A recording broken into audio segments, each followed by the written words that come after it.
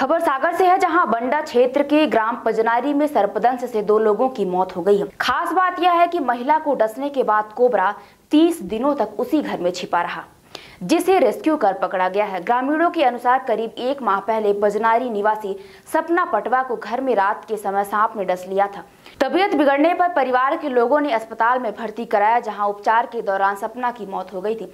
इसके बाद 20 जुलाई की शाम ग्राम के 16 वर्षीय निर्भय को सांप ने डस लिया था।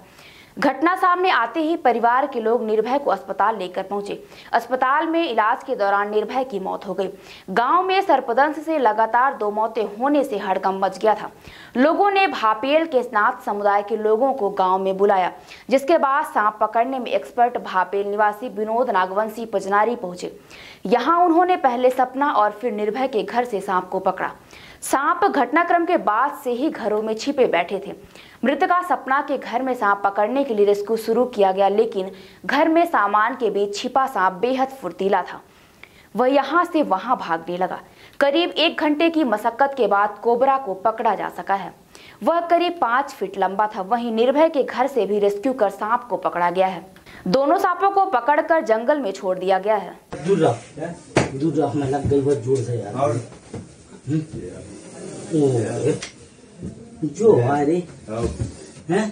राजवाटिका विवाह घर सर्व सुविधा युक्त प्राकृतिक सुंदरता से ओत प्रोत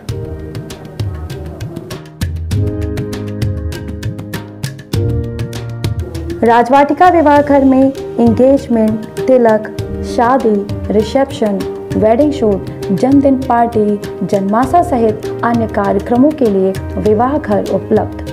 अपने मांगलिक कार्यक्रमों को यादगार बनाएँ शहर के मध्य वातानुकूलित राजवाटिका मैरिज गार्डन के साथ। हमारा पता है, Rajvatika marriage garden, national highway, जूला मोड़, भुंडहा, रीवा।